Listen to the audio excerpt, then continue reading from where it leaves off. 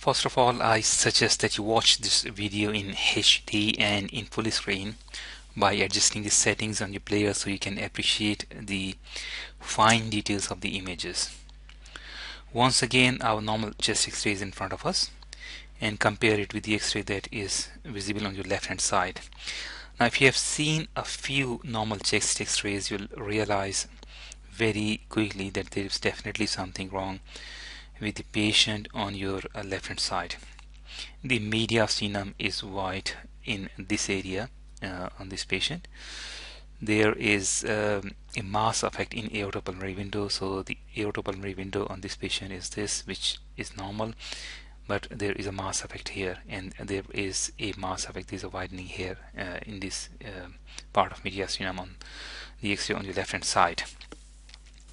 So first thing that comes to mind after seeing the mediastinal widening in this area would be enlarged lymph nodes. You can see abnormal opacities in both lungs here as well and there is a, an abnormal lucency here and in this area and most probably in this area as well. You would agree that uh, there is a reticulonodular pattern and there are uh, fibrotic changes in mid zones on both sides. And as the lung shrinks in volume as a result of fibrosis it can produce what is known as tra traction bronchiectasis. So shrinking interstitium pulls bronchi to dilate them in a non-uniform. So this probably is a dilated uh, bronchial branch. Uh, you can see thick walls on both sides. And this is the same thing a dilated bronchial branch. An axial CT scan image from the same patient, uh, a bit below uh, from carina, and you can see calcified lymph nodes. You can see calcification here, and you can see calcification here. These are enlarged calcified lymph nodes. An HRCT image from the same patient, a cut taken just uh, below the level of carina. So this is carina here. Uh, right main bronchus, left main bronchus, and you can see traction bronchiectasis here, here, and here as well. So the dilatation of the uh, the bronchial branches uh, is visible clearly.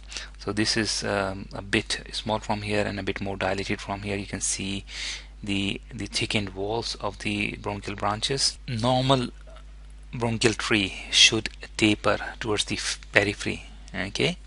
Which is not the case in this uh, case on this image you can also see what are known as perilymphatic nodules uh, visible on, on both lungs.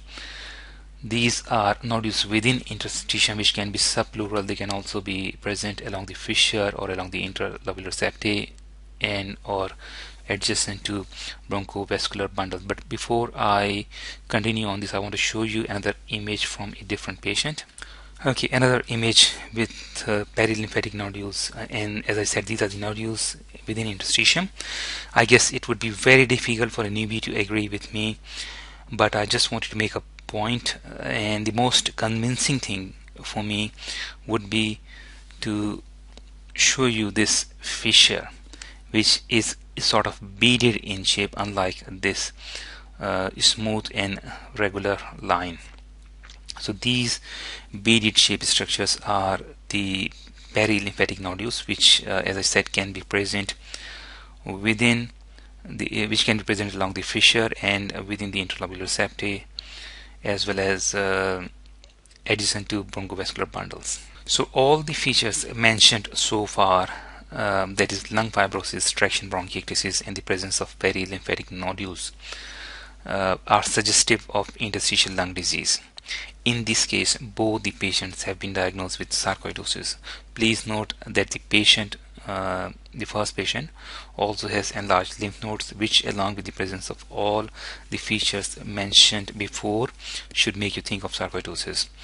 Also note that the most common cause of perilymphatic nodules is sarcoidosis, although they can be present in other interstitial conditions.